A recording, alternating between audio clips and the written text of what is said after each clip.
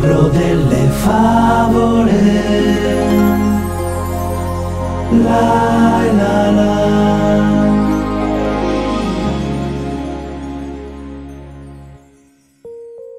Era risaputo che in occasione del compleanno di una persona, per augurare che la felicità non mancasse mai nel nuovo anno di vita, doveva essere regalato almeno un fiore della felicità.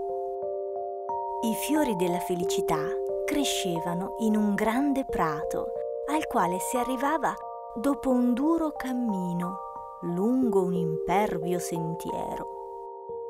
La fatica che si doveva fare per arrivare al prato era notevole e per tale motivo sempre meno persone ci si recavano. Così i fiori della felicità erano regalati sempre meno. Era diventata consuetudine dire perché affrontare questa fatica per cogliere e regalare questi fiori? La felicità può anche non dipendere da questa forma di augurio. Così sempre meno fiori della felicità erano raccolti e regalati in occasione dei compleanni. Passò tempo e ne passò tanto. Una sera un ragazzo chiese ad un suo amico, Ma tu sei felice? A dire la verità, no fu la risposta. I due amici pensarono allora di chiedere anche agli altri se fossero felici o no. Tutti risposero allo stesso modo. Erano anni che non si ricordavano un anno felice.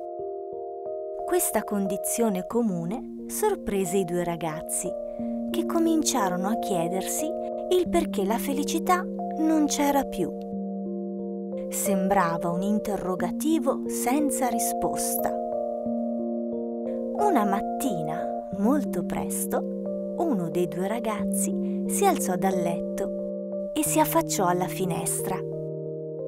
Stava osservando il sole sorgere quando notò che in uno dei vasi di fiori era spuntato un fiore mai visto prima. Fu incuriosito anche perché il fiore era molto bello. Lo guardò e mentre lo stava osservando, il fiore cominciò a parlare e disse Ti spiego io perché non c'è più la felicità. Era un fiore della felicità. Spiegò tutto al ragazzo, concludendo con questa frase. Anche noi stiamo sparendo perché nessuno ci viene più a raccogliere e siamo tristi. Il ragazzo corse subito al grande prato a raccogliere un fiore e lo regalò al suo amico, che quel giorno compiva gli anni. Tutti seppero di questo fatto e tutti ricominciarono ad andare a prendere i fiori della felicità per regalarli alle persone il giorno del loro compleanno, come augurio di felicità per il nuovo anno di vita.